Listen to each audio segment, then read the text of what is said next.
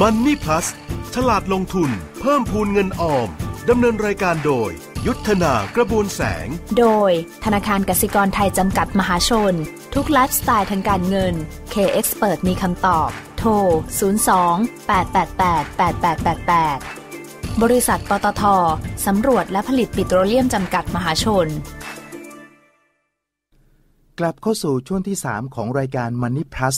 ฉลาดลงทุนเพิ่มพูนเงินออม ทาง 101 Radio Report 1 101 RR1 นะครับ รายการ Money Plus กลับมาพบกับคุณผู้ฟัง ทั้งวันเสาร์และวันอาทิตย์ ตั้งแต่เวลาบ่าย3โมงถึง 5 โมงเย็นที่นี่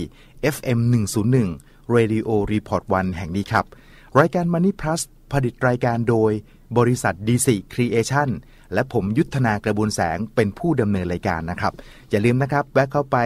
แวะฟังรายการของเราย้อนหลัง ชมรายการของเราย้อนหลัง หรืออ่านบทสัมภาษณ์ย้อนหลังได้ด้วย ที่เว็บไซต์โฉมใหม่ปรับปรุงเรียบร้อยแล้วนะครับ w w w y u t c a r e u c o m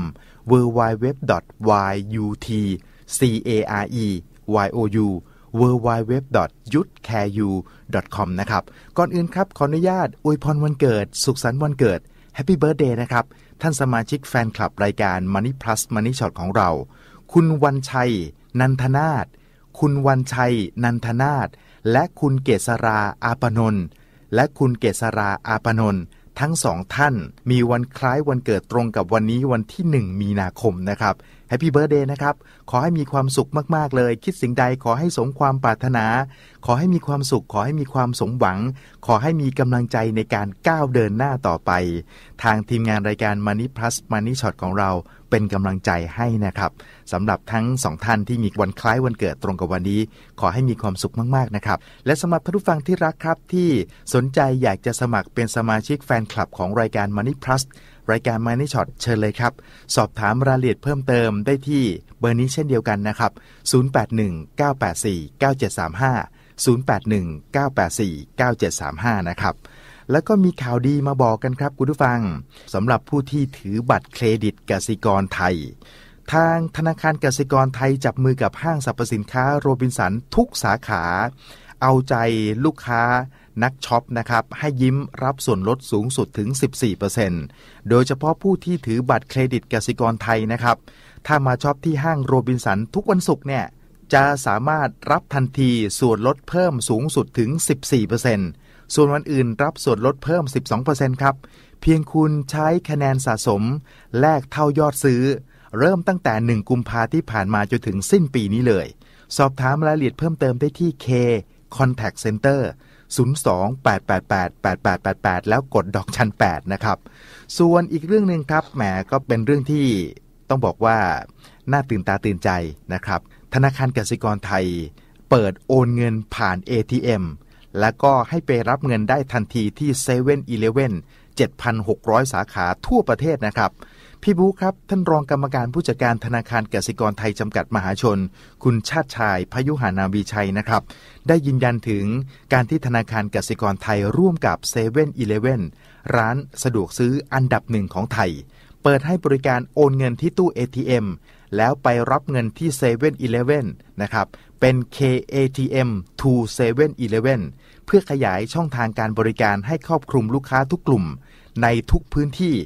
โดยลูกค้าที่ถือบัตรเดบิต หรือบัตร ATM ของธนาคารกสิกรไทย สามารถจะทำรายการโอนเงินผ่านเครื่อง ATM กสิกรไทยกว่า 7,800 เครื่อง ทั่วประเทศ ได้ตลอด 24 ชั่วโมง ส่วนผู้รับก็สามารถไปรับเงินได้ที่ร้าน7 e เ e ่ e สาขาที่มีเคาน์เตอร์เซอร์วิสกว่า 7,600 สาขาทั่วประเทศ ได้ทุกวันตั้งแต่ 8 โมงเช้าถึง 2 ทุ่ม โดยไม่จำเป็นต้องมีบัญชีเงินฝากของธนาคาร ใช้เพียงบัตรประชาชนและแจ้งรหัสรับเงินเท่านั้นนะครับ นี่เป็นอีกนะครับมิติใหม่ของการโอนเงินนะครับ จากตู้ ATM ไปยัง7 e เ e ่ e อ7,600 สาขาทั่วประเทศนะครับ ธนาคารกสิกรไทยจัดให้นะครับ ส่วนช่วงนี้ครับ คุณผู้ฟังครับ เป็นช่วงทุกไลฟ์สไตล์ทางการเงิน K-Expert มีคำตอบ สนับสนุนโดย ธนาคารกสิกรไทยจำกัดมหาชน ธนาคารกสิกรไทยบริการทุกระดับประทับใจนะครับ ส่วนการก้าวทันการลงทุนกับบลจกสิกรไทยสนใจก็ติดต่อได้ที่ 02 673 3888 หรือ w w w g a s i k o r a s s e t c o m ก็ได้ด้วยนะครับ ช่วงนี้ครับคุณผู้ฟังครับ ทุกไลฟ์สไตล์ทางการเงิน K Expert มีคำตอบ สนับสนุนโดยธนาคารกสิกรไทยจำกัดมหาชน คุณเมียวครับ วันนี้คุณเมียวกลับมาแล้วนะครับ ท่านรองผู้อำนวยการฝ่ายฝ่ายวางแผนและให้คำปรึกษาทางการเงิน ส่วนบุคคล ธนาคารกสิกรไทยจำกัดมหาชน คุณฉัดพงศ์วัฒนจิรัตครับ คุณเมียวฉัดพงศ์วันนี้จะจัดเต็มมาคุยให้เราฟังว่า ถ้าเราอยากให้ลูกเป็นซุปตาเนี่ย เราต้องวางแผนยังไงต้องใช้งบขนาดไหน คุณพ่อคุณแม่ต้องทำอะไรบ้างนะครับ คุณเหมียวพร้อมแล้วที่จะคุยกับเราด้วยในช่วงนี้ครับ สวัสดีครับเหมียวครับครับ สวัสดีครับพี่ยุทธและท่านผู้ฟังครับโอ้โหนะ ไม่ได้คุยกันเป็นเดือนเลยนะครับเนี่ยใช่ครับนะฮะโอ้ยแฟนๆคิดถึงนะครับอ๋อขอบพระคุณครับนะฮะก็แต่คิดถึงรายการเหมือนกันครับนะครับ แต่ว่าทุกครั้งที่เราผ่านนะครับสาขาธนาคารกสิกรไทยที่มีเครื่องหมาย K Expert ครั้งใด ก็จะนึกถึงเหมียวแทบทุกครั้งเลยนะครับ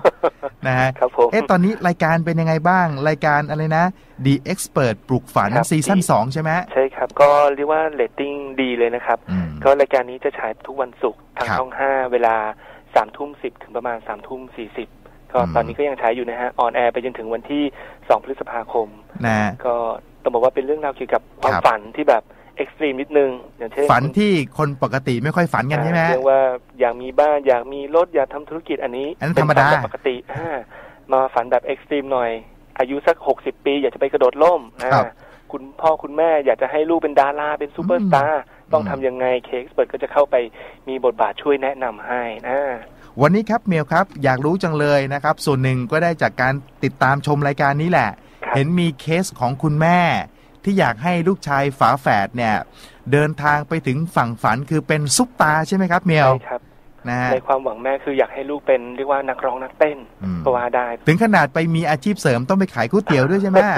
ใช่ครับ แล้วถ้าเกิดว่าคุณพ่อคุณแม่ที่ดูอยู่ทางบ้านเนี่ยนะครับ หรือคุณผู้ฟังที่ฟังอยู่เนี่ย อยากจะวางแผนให้ลูกเป็นซุปตาบ้างละครับฮะมันจะต้องทำยังไง จะต้องเริ่มต้นยังไง ต้องเตรียมตัว ต้องเตรียมทุนทรัพย์ยังไงบ้างเมียว จริง ๆ เรื่องของรายการ The Expert ก็เลยเป็นที่มาของหัวข้อที่เราอยากคุยกันในวันนี้นะฮะเพราะเชื่อว่าพ่อแม่หลายคนเนี่ยก็หวังลึกๆแหละว่า เอ๊ะลูกเราจะมีโอกาสได้เป็นดาราหรือเปล่า เพราะลูกเราก็ดูน่ารักดี ชอบร้องชอบเต้นอีกต่างหากครับ ก็คิดว่าเออมันน่าจะเป็นแบบนั้นอืมคราวนี้ก็ต้องบอกว่าไอ้เรื่องกระแสที่อยากจะปั้นเด็กเป็นดาราเนี่ย จริง ๆ มันก็มีมีมานานแล้วพอสมควรนะฮะครับ และหลังๆเนี่ยก็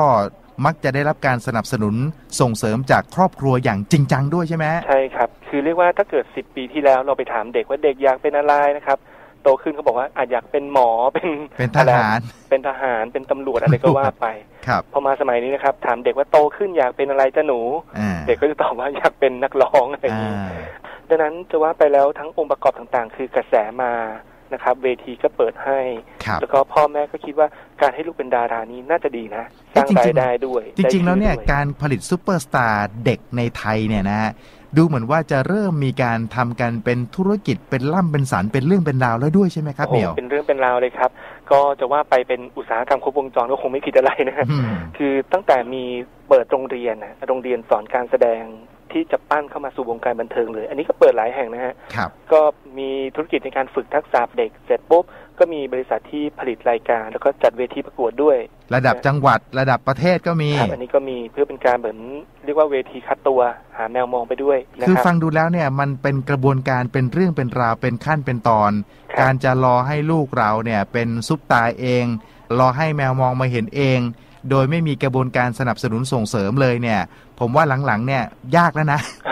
ใช่ครับ ก็เรียกว่าจริง ๆ เหมือนโอกาสมันก็มาด้วยองค์ประกอบต่างๆ ทั้งในภาคธุรกิจเอง หรือว่าแรงบันดาลใจเองมันก็ค่อนข้างครบถ้วน คือมันวางแผนกันได้ใช่ไหมครับ วางแผนกันได้เลยครับ แล้วก็หลาย ๆ คนที่ประสบความสำเร็จก้าวขึ้นมาเป็นดาราเนี่ยบางส่วนก็มาจากการวางแผนตรงนี้ด้วยเหมือนกัน ทีนี้ครับถ้าเกิดว่าเด็กๆเนี่ยมีความสนใจ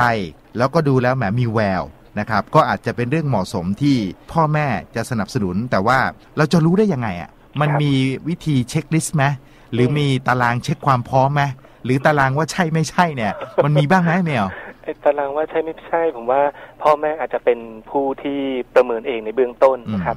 แต่ว่าเด็กเองจะต้องมีส่วนร่วม คราวนี้จะต้องทำไงครับก็มาเข้าสู่กระบวนการแรกก็คือการค้นหาทักษะของลูกก่อนอะนะครับต้องหาให้เจอก่อน ค้นหาให้เจอก่อน ถามว่าจะค้นหายังไงล่ะ เอ๊ะอยู่บ้านเปิดคาราโอเกะให้เด็กร้องดีไหม ก็อาจจะได้ส่วนหนึ่งนะฮะแต่ถ้าจะลองค้นหาอย่างเป็นจริงเป็นจังเนี่ย ก็คือลองพาไปเรียนเลยครับครับแต่อยากจะให้อยู่ในโหมดของการทำความเข้าใจ ไม่ใช่อยู่ในโหมดของการผลักดันนะอืมทำความเข้าใจคือถ้าช่วยลูกแล้วดูแล้วเออมีทักษะด้านนี้ พอไปไหวก็จะให้การสนับสนุนนะครับแต่ว่าให้คล้ายๆ กับให้มีการเตรียมใจ ให้มีการคล้าย ๆ กับว่าเผื่อใจไว้ด้วยใช่ไหม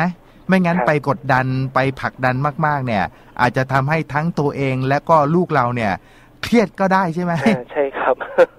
ก็เรียกว่าพาลูกไปเปิดโลกทัศน์ดีกว่าอ่านะให้ลูกได้ทำในสิ่งที่เขาชอบ เราก็จะได้ดูว่าอ๋อเขาไม่ชอบดนตรี แต่เขาชอบเต้นครับ แล้วถ้าเกิดลองดูแล้วลูกมีแววเต้น ผมว่าสักประมาณสองสาเดือนนะฮะอืม ก็จะเห็นแล้วแหละว่าเอ้ยเด็กชอบหรือเปล่า ถ้าเด็กบอกชอบผมว่าน่าจะไปต่อได้หมายถึงว่าพอไปทำกิจกรรมสักเดือนสองเดือนก็รู้แล้วใช่ไหมฮะว่าลูกเราเนี่ยชอบหรือไม่ชอบ คือบางทีเนี่ยแค่ให้ลูกเรามีกิจกรรมที่เขาชอบเขาสนุกเขาทำแล้วมีความสุขก็โอเคแล้วใช่ไหมครับส่วนการจะเป็นซุปตาได้หรือไม่เนี่ยก็ถือว่าเป็นผลพลอยได้กันแล้วกันอ่าใช่ถ้าคิดอย่างนี้ได้ก็จะได้ไม่เครียดใช่ไหมถูกต้องเลยครับอ่าทีนี้ผมย้อนกลับไป แล้วถ้าคุณพ่อคุณแม่ที่วางแผนจะพยายามผลักและดัน นะครับให้ลูกเป็นซุปตาให้ได้เนี่ย มันต้องใช้จ่ายกันเยอะไหมครับ ต้องมีเงินมากขนาดไหนเมียว โเรียกว่าถ้าหมายมั่นปั้นมือกันจริงๆนี่เรียกว่าหลักหลายแสนบาทเลยก็ว่าได้นะฮะเป็นแสนเลยใช่ไหมเป็นแสนเลยนะครับ ลองไปศึกษาข้อมูลเพิ่มเติมดูนะครับ ก็มีพวกโรงเรียนสอนร้องเพลง สอนการเต้นอืมพวกนี้โดยเฉลี่ยแล้วชั่วโมงหนึ่งจะคิดอยู่ที่ประมาณ1,000ถึงโอ้ชั่วโมง1,500บาท ชั่วโมงเป็นพันแล้วครับก็พวกนี้ก็จะเหมามาเป็นแพ็กเกจก็คือเป็นคอร์สนะครับอืมถ้าคอร์สสั้นเรียน 12 ชั่วโมง ก็อยู่ที่ประมาณสัก15,000ถึง18,000อืม ถ้าคอร์สยาวหน่อย 48 ชั่วโมง อยู่ที่ประมาณ 40,000 บาทถึง 50,000 บาท โอ้โห ถ้าเราตีว่า 48 ชั่วโมง เรียนสัปดาห์ละชั่วโมงก็คือเป็นคอร์สแบบ 1 ปีนั่นเองนะครับ แต่ว่าถ้าดูแล้วเอ้ยเด็กมีทักษะจะหมายมั่นปั้นมือจริง เรียนแค่หนึ่งชั่วโมงต่อสัปดาห์ผมว่าไม่พอนะต้องจริงจังมากขึ้น อ่า สมมติตีเล่นๆแล้วกันว่าเป็นสองชั่วโมงต่อสัปดาห์ครับเมื่อกี้หนึ่งคอร์สทั้งปีอยู่ที่ห้าหมื่นาสองชั่วโมงต่อสัปดาห์ก็เบิ้ลขึ้นมาก็กลายเป็นหนึ่งแสนบาทอันนี้ต่อหนึ่งทักษะนะฮะครับหนึ่งแสนบาทต่อหนึ่งทักษะต่อหนึ่งทักษะต่อปีนะฮะแล้วถ้าจะเป็นดาราจริงๆเนี่ยมันก็ไม่ใช่ทักษะแค่ร้องเพลงอย่างเดียว มันต้องมีเต้นด้วยใช่ไหมอาจจะเป็นเต้นด้วยอะสมมุติว่ารวมเรื่องเต้นเข้ามาด้วยละกันอีกหนึ่งทักษะครับก็อีกสักหนึ่งแสนบาท ก็อืมกลายเป็นสองแสนบาทละนะครับ แล้วแล้วก็ไม่ใช่ทำแค่ปีเดียวด้วยใช่ไหมครับ มันต้องต่อเนื่องกันสองสามปีด้วยใช่ไหมอย่างน้อยใช่ไหมครับเท่าที่คุยกับคนมีประสบการณ์เขาบอกว่าต้องประมาณสักสองถึงสามปีอืมทักษะที่เรามีถึงจะเริ่มเข้ารูเข้ารอย โอปาเข้าไปครึ่งล้านแล้วนะ ก็ต้องเตรียมพอควรอยู่เหมือนกันนะฮะครับแล้วก็มันก็ไม่ใช่เรื่องการฝึกทักษะอย่างเดียว คือเวลาไปเป็นดารา หรือไปเป็นนางแบบคือบุคลิกภาพก็ต้องดีด้วยนะอ๋อต้องมีเรื่องของการพัฒนาบุคลิกภาพเนี่ย เสริมประกอบเข้าไปด้วยใช่ไหมครับ ใช่ครับ ซึ่งคอร์สเกี่ยวกับการพัฒนาบุคลิกภาพเด็กก็ประมาณสักสามหมื่นบาท แล้วก็คอร์สหุ่นเหินนี่ก็ต้องดีด้วยใช่ไหมอ่าหุ่นดีถ้าเกิดหุ่นดีก็เข้าฟิตเนสนะครับ เข้าฟิตเนสจะไปเล่นแบบงูปลาปลาก็ไม่ได้ ต้องมีครูต้องมีครูฝึกเข้มเลย ครับ ก็ครูฝึกก็ตกแล้วปีหนึ่งคิดอยู่ประมาณห้าถึงหกหมื่นบาทนะครับอืมแล้วจะแต่งเนื้อแต่งตัวก็ต้องจัดเต็มดูดีด้วยใช่ไหมอ่าอย่างเช่นเวลาไปขึ้นประกวดจะไปแต่งตัวแบบธรรมดาเดินเที่ยวห้างมันก็ไม่ได้ ก็ต้องมีครับท็อปเยอะหน่อย ซึ่งอาจจะต้องเผื่องบไว้ฮะสักสองหมื่นหรือสามหมื่นบาท อาจจะเป็นต่อปีก็ได้ ฉะนั้นรวมๆแล้วเนี่ยทั้งหมดเนี่ยที่เมียวคุยให้ฟังเนี่ย ถ้าต้องใช้เวลาฝึกทักษะอย่างต่อเนื่องหลาย ๆ ด้านเนี่ยนะครับครับตกลงถึงครึ่งล้านแล้วใช่ไหมโอ้ใกล้เคียงใช่ไหมผมว่าใกล้เคียงมากเลยฮะ คือเรียกว่าปีหนึ่งเนี่ยอย่างน้อยก็เป็นสักสามแสนกว่าบาทที่จะเป็นในเรื่องการค่าใช้จ่ายเพิ่มเติมเกี่ยวกับการปั้นลูก ปีหนึ่งตกประมาณเท่าไหร่นะครับ ปีหนึ่งตกประมาณสักสามแสนบาทแล้วกันปีละ300,000เป็งบนะที่ต้องเผื่อไว้ แต่คราวนี้พ่อแม่ก็ต้องส่งลูกเรียนด้วย มันก็มีค่าครับใช้จ่ายตามปกติมอย่างเช่นการเล่าเรียนขึ้นมาค่าใช้จ่ายตามปกติค่าเรียนของเด็กสักต่อปีก็ประมาณแสนกว่าถึงสองแสนครับครับดังนั้นเรียนไปด้วย หมายมั่นปั้นมือเป็นดาราด้วยเนี่ย ปีต่อปีเนี่ยต้องครึ่งล้านนะฮะ โอ้ครึ่งล้านนี่ต่อปีนะครึ่งล้านต่อปีนะโอ้โห ถ้าสามปีก็ปาเข้าไปล้านห้าแล้วนะครับครับผม คุณพ่อคุณแม่ที่อยากจะให้ลูกเป็นซุปตาฟังดูแล้ว อย่าเพิ่งถอดใจนะอย่าเพิ่งเหนื่อยนะนะก็ทีนี้ถ้าอืมถ้าจะเตรียมค่าใช้จ่ายพร้อมแล้วสมมตินะฮะครับถ้าขั้นตอนการเตรียมค่าใช้จ่ายพร้อมแล้ว ซึ่งเหมียวบอกว่าตกรวมแล้วประมาณปีละห้าแสนเนี่ย แล้วต้องทำยังไงต่อครับครับ หลังจากฝึกทักษะอะไรครบถ้วนนะฮะคิดว่ามันถึงคราวแล้วแหละที่เราจะต้องไป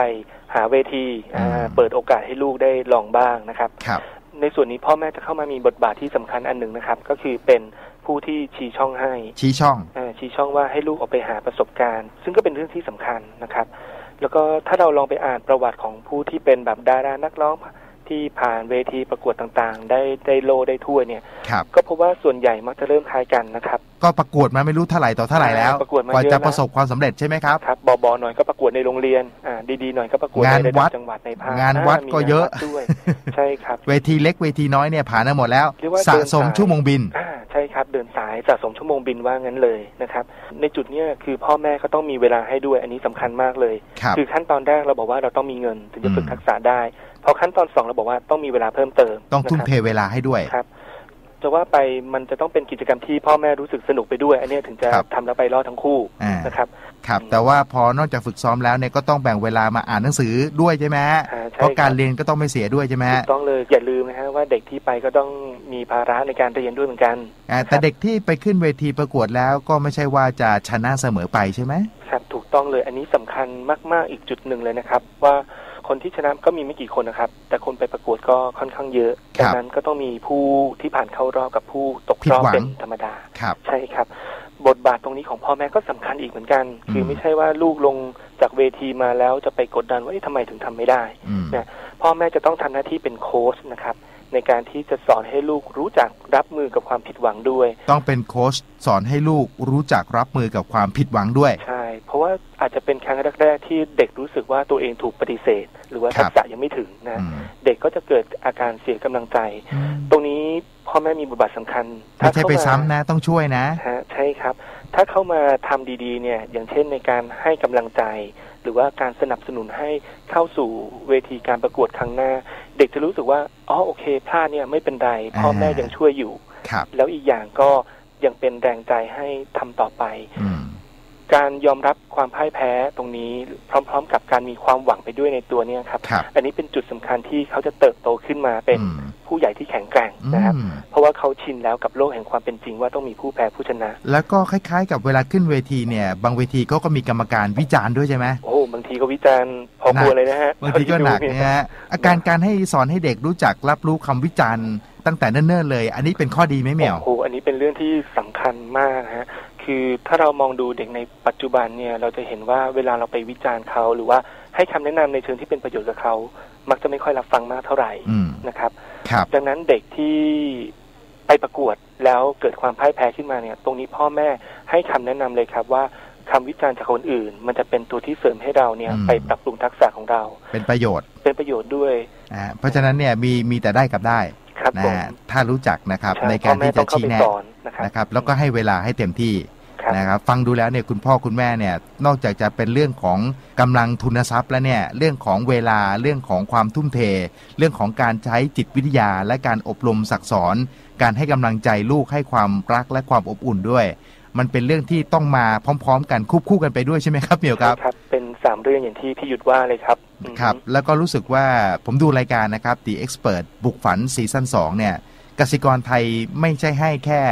เรื่องเงินอย่างเดียว แต่ว่าให้คำปรึกษาแนะนำต่างๆ เรื่องอื่นๆด้วยใช่ไหมฮะครับผม ฉะนั้นเนี่ยถ้าฟังเหมียววันนี้แล้วอยากจะปรึกษาวางแผนให้ลูกเป็นซุปตาเนี่ยก็สามารถจะคุยกับทาง เอ่อ K Expert ธนาคารกสิกรไทยได้ด้วยไหมครับเหมียวครับ ก็ลองเข้ามาคุยกับเราได้นะครับ คือถ้าเป็นที่สาขาก็จะมีเจ้าหน้าที่ K Expert อยู่นะครับครับถ้าเป็นในทางของอีเมลนะครับ อันนี้น่าจะสะดวกกว่า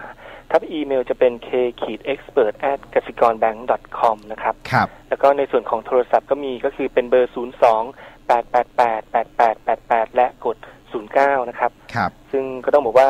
บางเรื่องอาจจะเป็นเรื่องแบบเฉพาะกิจนิดนึงนะคครัรับบแต่ยังไงก็ลองทิ้งคำถามมาได้แล้ว ทางเราก็จะพยายามช่วยหาคำตอบในส่วนนี้ให้ครับ แล้วก็รายการติดตามได้ยังไงบ้างครับเหมียวครับอ๋ออันนี้ก็ฝากเชิญชวนติดตามรายการ The Expert ปลูกฝัน2นะครับรายการที่จะสร้างแรงบันดาลใจให้กับทุกคนในการตั้งความฝัน แล้วก็ทำตามความฝันให้สำเร็จนะครับ ติดตามได้ทางช่อง 5 ทุกวันศุกร์นะครับ เวลา3ทุ่ม10ถึง3ทุ่ม40นาทีนะครับ ตอนนี้ออนแอร์ละไปจนถึงรอบสุดท้ายคือวันที่2พฤษภาคมนี้นะครับครับ แล้วเหมียวไปออกบ้างป่ะเนี่ยอ๋อไม่ได้ไปออกครับ อยู่ข้างหลังครับนี่คอยช่วยเสริมข้อมูลนั่นอยู่เบื้องหลังความสำเร็จนะครับ